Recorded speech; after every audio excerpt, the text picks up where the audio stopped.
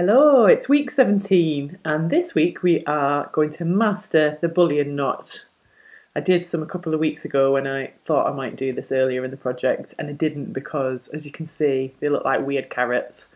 But that's okay because I have practiced on my scrappy hoop and I think I worked out what it is that I was doing wrong. So they're looking a bit better now. And it's not that I wanted them to be perfect, because I don't. I mean, my herringbone was far from perfect. Um, I just wanted to be able to give you some more tips. So let's use this lovely blue thread. I've got three strands like normal, and I've tied a little knot in the end. So basically, what you're going to do first of all is come up through your fabric. Now, if you're right-handed, you need to come up on the right first. If you're left-handed, come up on the left first.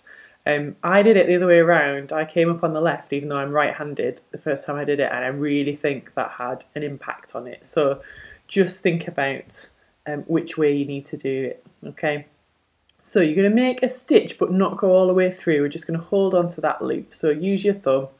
Um, I'm doing it at the edge of the hoop here, which makes it um, a little bit easier, although I'm going to have to watch out for the the screw of the top of the hoop there. So then you're going to go back to where you originally came up, push your needle up through the same hole. Not all the way, I've left about a centimetre on the end just so I can hold it. And then we're going to wrap the thread around a few times, say a few times. I aim for roughly about 10. Something like that, somewhere in it. I don't know how many that was, it doesn't matter. Um, what we want to do is make sure that the amount of thread reaches the other side where we um, finish that stitch okay? Now the most difficult thing about these is the tension okay? So you might find you've done it a little bit tight. If you have don't worry just undo it and go back to that first stage okay where you um, start wrapping again after you've got the um, thread through. So you can see here what I'm doing is I'm pulling on this end of fabric and trying to fabric, on this end of thread even. Trying to keep it nice and tight and I'm just using my needle or you can use your finger or your thumb if you'd rather to push those stitches all along. And then when you're happy with the positioning, go back down through that hole at the other side. And there you go. I say it, there you go, as if that was easy. I'm not to lie, they're not easy. Until you get used to the tension, they're going to be a little bit tricky. But try and power on through. So don't do them if you're feeling too tired. Um, if you need a cup of tea or something stronger, whatever your tipple is, you know, do it. Um, you know, you can always come back to them and keep coming back to them.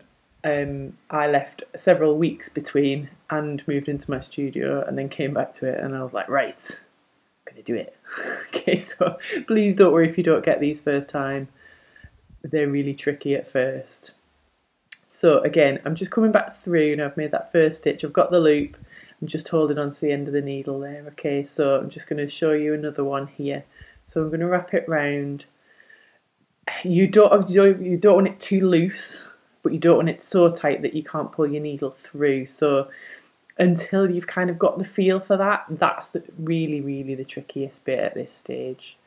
Put it down on a flat surface, try and keep that end tight you might just need to give it a wiggle. Um, I did stupidly put hand cream on for filming this because my hands are still in a right old state and I wanted them to look slightly better, but don't put hand cream on before you do these. That's another top tip because it isn't going to work.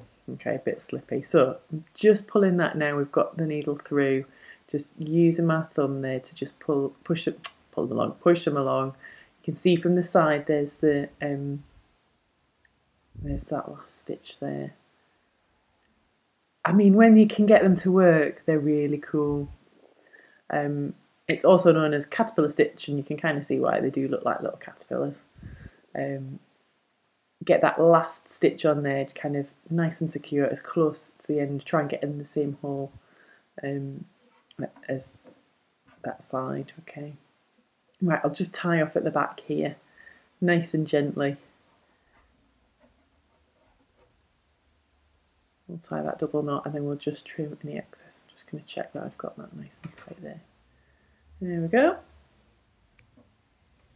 And that's it. The bullion knot. Woohoo! Hooray! Keep going with it. You've got this. You can do it. You can always come back to it if you need to.